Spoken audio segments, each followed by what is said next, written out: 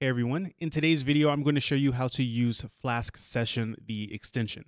So this is different from the session object in Flask, even though they're closely related. And the reason why you use this extension is because you want to have server-side sessions instead of the client-side sessions. So I'll show you an example in a moment using the default method of creating sessions in Flask. And then I'll show you how to set up Flask Session, which we'll see is pretty easy to do. So the first thing is I have a very simple Flask app here that doesn't do anything. It just uh, instantiates the app and sets a secret key, my secret. You'll need the secret key anytime you're using sessions, and I'm importing the session object here. So what I'll do is I'll create two routes, one for setting the session and one for getting the session. So the first will be for setting. So I'll call this set, and it's going to take in just a value. Doesn't really matter what I pass in. It's just for demonstration purposes. I'll call this set session, and I'm going to take that value that I passed through the URL, and I'm going to take the session object and create a key called value and pass in the actual value that I use. And I'll return an f string saying something like the value you set is, and then I'll pass in value there. And then I'll create a second route for getting the session. So we'll just call this get.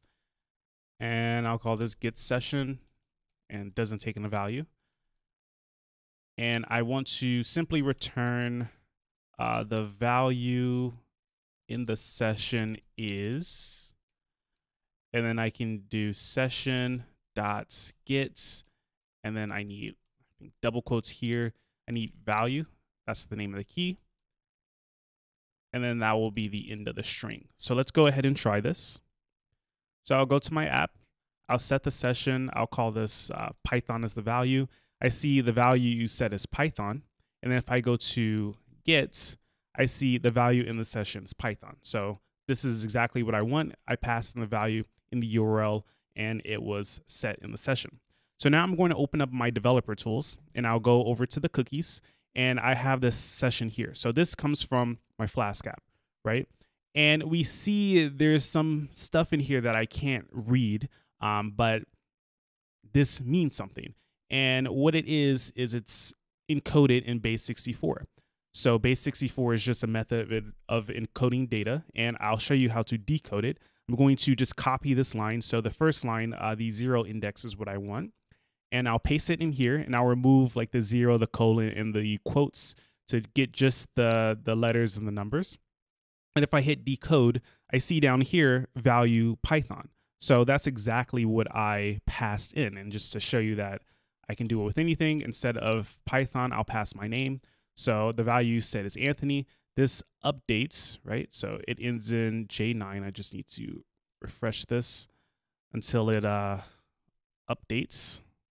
All right, let me go to get actually. And just want to make sure this updates. I'm going to delete this and then set it again. So set Anthony, and then now we have it here. Okay, yeah, it wasn't updating for some reason. So I'll paste this in here and then I'll remove the extra characters and I see value Anthony. So anything I pass in there that gets set on the session will be visible here. So the reason why you want to use server-side sessions is because you want to have some session information that is associated with a user using your app, but at the same time, you don't want anybody to see it. So if someone knew how Flask set sessions, then they can easily decode your session if you're using client-side sessions and they can see the values here. So that's why it's always recommended you don't put anything that is sensitive in these sessions. But if you use a server-side session, then the session is kind of set on your server. So you can put anything in there that you want and it's as secure as the rest of your app, right? So if your app's not secure as a whole, your server's not secure, then of course it can be problematic. But assuming everything is secure on your end, your server, then the server-side session should be secure. So what I'll do is I'll set up Flask session and I'll show you how this works. So I need to install it. So let me stop my app. Uh, pip install flask dash, dash session. And in addition to that, I'm going to use Flask SQL Alchemy to handle the a server side session. So normally you wouldn't have session information in a database, but for simplicity purposes, I'll do it here. Uh, but there are other methods of saving the actual session data somewhere on your server. And I'll show you the options in just a moment. But uh, pip install flask SQL Alchemy is what I want.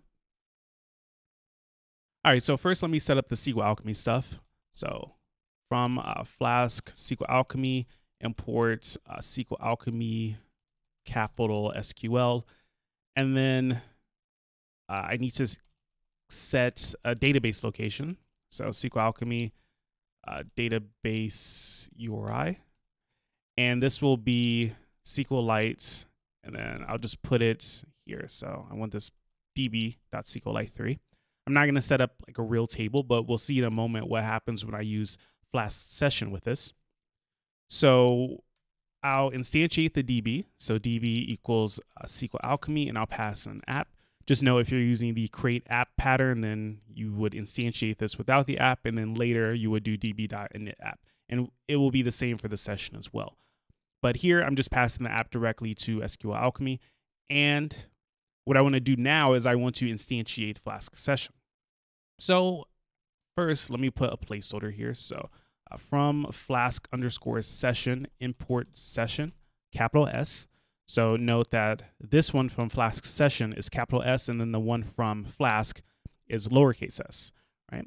So now I want to instantiate this. So I can do session app. And normally you would have a variable here to represent the uh, instance of whatever extension you're instantiating. And I can do that here. But normally it's the lowercase version of the class. But you see, this won't work because I have session here. And if I were using the create app pattern where I wasn't passing the uh, app here directly, I would use uh, .init app later, then I would definitely need this.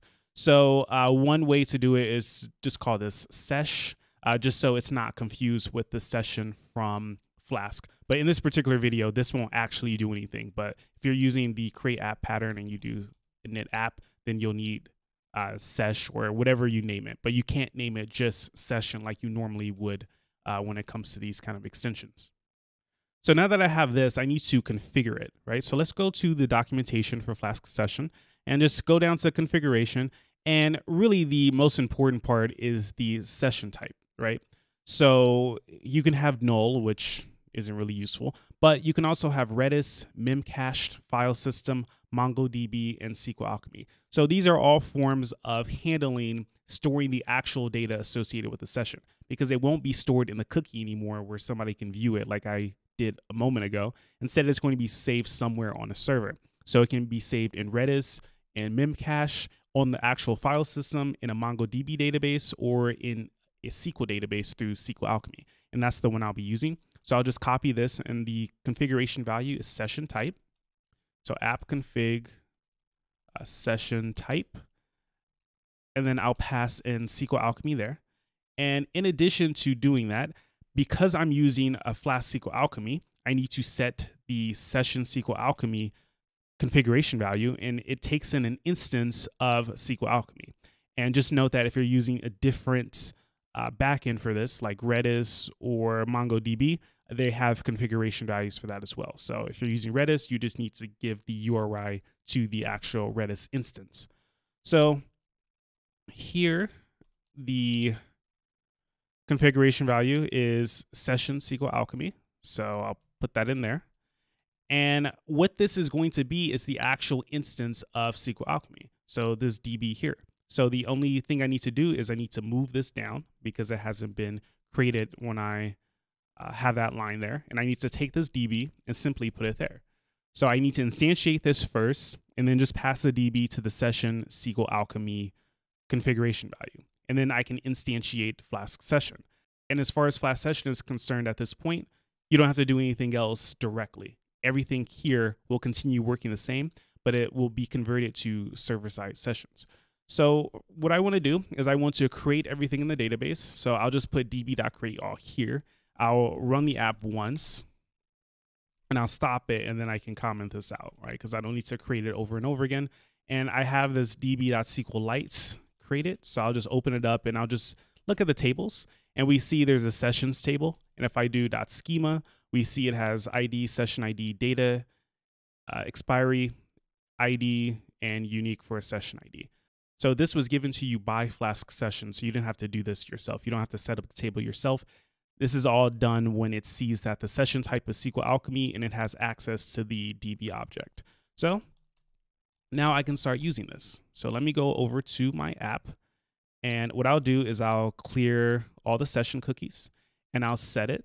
So we'll call this server now for the session. And we see I have this appear, but instead of being that base 64 uh, encoded string, now it's this. It's this value uh, 5C6 and so on. So this is something I can't just decode.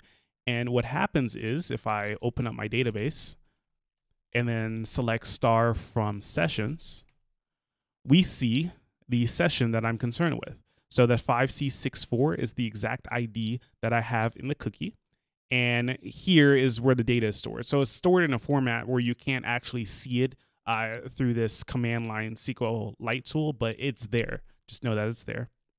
So if I run the app again and I go to uh, get after setting the server, I see uh, the value in session is server. And we see the actual session cookie is just this. So what's happening here is it still has to create a cookies because you're representing a session for a particular user.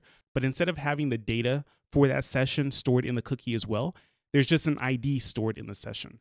And then Flask will take that ID, query the database, and get the data from the session and then use it normally.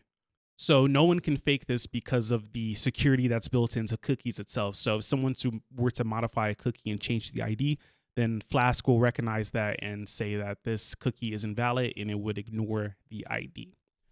So uh, that's it for working with a Flask session. So if you want to have server-side sessions in your app, you can see it's pretty easy to use. It's just basically setting up and then you don't have to use it directly. You just continue using the regular Flask session object as normal. So if you have any questions about anything I've done in this video, feel free to leave a comment down below. If you like this video, please give me a thumbs up. And if you haven't subscribed to my channel already, please subscribe. So thank you for watching and I will talk to you next time.